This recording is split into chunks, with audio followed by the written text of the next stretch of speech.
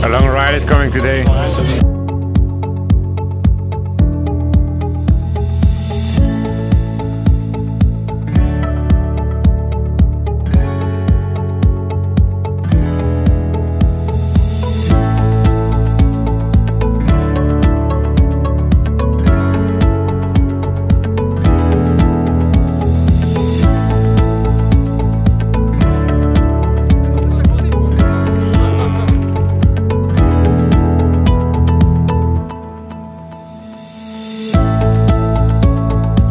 Eh ben, tous les soirs, euh, l'équipe euh, mécanique, Rodolphe, Rico et moi-même, eh ben, on s'arrange pour que les vélos soient prêts. On les check tous. Euh, on vérifie les vitesses, les plaquettes. S'il y a des pièces à changer, on le fait en appelant les, les concurrents. Mais le but, c'est que le lendemain, tout se passe à merveille pour eux.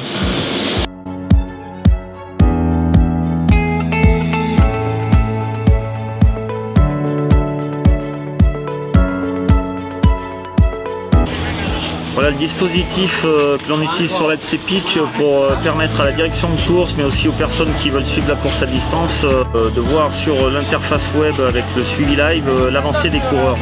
Des trackbox, trackbox qui sont déposés tous les jours par des bénévoles et qui permettent donc de détecter le passage de cette puce et la chips.